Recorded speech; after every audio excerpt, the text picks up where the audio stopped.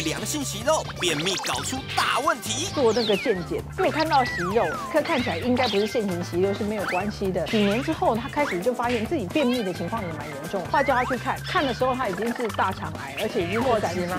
今天晚间八点，请你跟我这样过。东森超市三三频道。